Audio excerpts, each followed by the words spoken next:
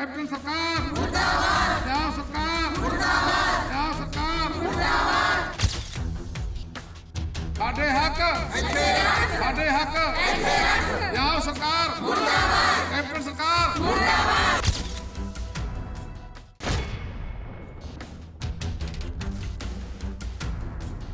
ਪੰਜਾਬ ਸਰਕਾਰ ਵੱਲੋਂ ਸਰਕਾਰੀ ਨਰਸਿੰਗ ਸਿਖਲਾਈ ਕੇਂਦਰਾਂ ਵਿੱਚ ਐਸਸੀ ਵਰਗ ਲਈ ਕੋਰਸ ਦੀ ਫੀਸ 5000 ਰੁਪਏ ਰੱਖੀ ਗਈ ਸੀ। ਪਰ ਹੁਣ ਇਹਨਾਂ ਵਿਦਿਆਰਥੀਆਂ ਦੇ ਮਾਪਿਆਂ ਦਾ ਕਹਿਣਾ ਹੈ ਕਿ ਉਹਨਾਂ ਕੋਲੋਂ 35000 ਰੁਪਏ ਫੀਸ ਮੰਗੀ ਜਾ ਰਹੀ ਹੈ।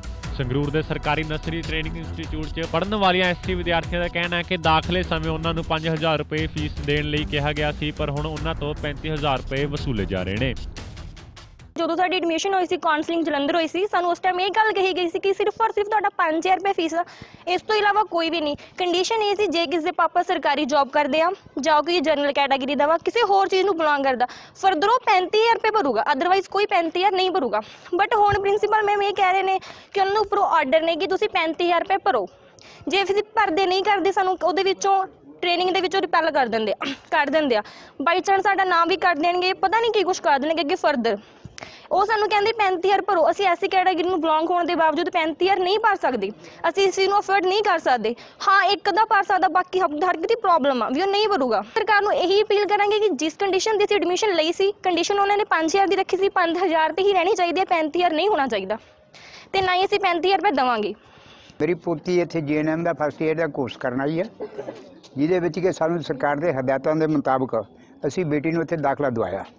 ਪਰ ਅੱਜ ਕੰਡੀਸ਼ਨ ਇਹ ਹੋ ਰਹੀ ਹੈ ਵੀ ਸਾਨੂੰ 35000 ਰੁਪਇਆ ਹੋਰ ਭਰਨ ਲਈ ਕਿਹਾ ਜਾ ਰਿਹਾ। ਸਾਡੇ ਕੋਲੇ ਕੋਈ 35000 ਰੁਪਇਆ ਦੀ ਕੋਈ ਕੰਡੀਸ਼ਨ ਬਣਦੀ ਨਹੀਂ ਹੈ।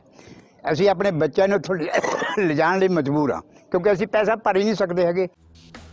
ਦੂਜੇ ਪਾਸੇ ਸੰਸਥਾ ਦੇ ਪ੍ਰਿੰਸੀਪਲ ਤੋਂ ਪੁੱਛ ਜਾਣ ਤੇ ਉਹਨਾਂ ਦੱਸਿਆ ਕਿ ਵਿਦਿਆਰਥੀਆਂ ਨੂੰ ਇੱਕ ਵਾਰ ਪੂਰੀ ਫੀਸ ਭਰਨੀ ਹੋਵੇਗੀ ਜਿਸ ਤੋਂ ਬਾਅਦ ਉਹਨਾਂ ਦੇ ਖਾਤਿਆਂ ਵਿੱਚ ਇਹ ਫੀਸ ਵਾਪਸ ਆ ਜਾਵੇਗੀ। ਉਹਨਾਂ ਦੱਸਿਆ ਕਿ ਇਹ ਫੈਸਲਾ ਸਰਕਾਰ ਦੇ ਆਦੇਸ਼ਾਂ ਮੁਤਾਬਕ ਹੀ ਲਿਆ ਗਿਆ ਹੈ। ਬਿਲਕੁਲ ਜੀ ਜੀਐਨਐਮ ਦੇ 120 ਬੱਚੇ ਹੈਗੇ ਆ ਜੀ। ਤੇ ਸਰਕਾਰ ਦੀਆਂ ਹਦਾਇਤਾਂ ਮੁਤਾਬਕ ਸਾਨੂੰ ਇਹ ਚਿੱਠੀ ਪ੍ਰਾਪਤ ਹੋਈ ਹੈ ਵੀ ਜਿਹੜੇ ਬੱਚਿਆਂ ਨੇ ਪੀਐਮਐਸ ਰਾਹੀਂ ਕੀਤਾ ਹੈਗਾ ਅਪਲਾਈ ਉਹਨਾਂ ਬੱਚਿਆਂ ਦੀ ਇਸ ਸਾਲ ਜਿਹੜੀ ਸਕਾਲਰਸ਼ਿਪ ਹੈ ਉਹਨਾਂ ਦੇ ਅਕਾਊਂਟ 'ਚ ਆਣੀ ਇਸ ਕਰਕੇ ਬੱਚੇ ਜਿਹੜੇ ਨੇ ਉਹਨਾਂ ਨੂੰ ਫੀਸ ਭਰਨ ਦੀ ਪ੍ਰਵਾਨਗੀ ਅਸੀਂ ਦੇ ਰਹੇ ਹਾਂ। ਉਹਦੇ ਤਹਿਤ ਅਸੀਂ ਬੱਚਿਆਂ ਨੂੰ ਇਨਫੋਰਮ ਕੀਤਾ ਵੀ ਤੁਸੀਂ ਆਪਣੀ ਫੀਸ ਭਰੋ। ਪਰ ਸਾਨੂੰ ਉਹਨਾਂ ਨੇ ਵਰਬਲੀ ਇਹ ਚੀਜ਼ ਕਹੀ ਹੈ ਵੀ ਨੈਕਸਟ ਮੰਥ ਫਰਵਰੀ ਦੇ ਲਾਸਟ ਵੀਕ 'ਚ ਅਸੀਂ ਪੈਸੇ ਪਾ ਰਹੇ ਹਾਂ ਇਹਨਾਂ ਦੇ।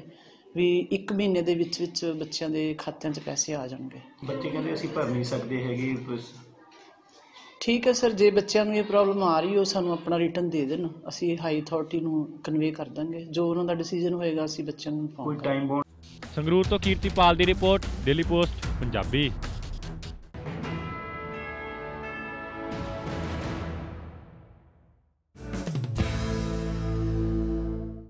ਕੀ ਤੁਸੀਂ ਵੀ ਵਿਦੇਸ਼ ਵਿੱਚ ਆਪਣਾ ਭਵਿੱਖ ਬਣਾਉਣਾ ਚਾਹੁੰਦੇ ਹੋ ਪਾਓ ਵਿਦੇਸ਼ ਵਿੱਚ ਪੜ੍ਹਾਈ ਕਰਨ ਦਾ ਮੌਕਾ ਪਿਰਾਮਿਡ ਈ ਸਰਵਿਸ ਦੀ ਸਲਾਹ ਨਾਲ ਭਾਰਤ ਅਤੇ ਪੰਜਾਬ ਸਰਕਾਰ ਤੋਂ ਮਾਨਤਾ ਪ੍ਰਾਪਤ ਪਰ ਕਰੋ 93978 93978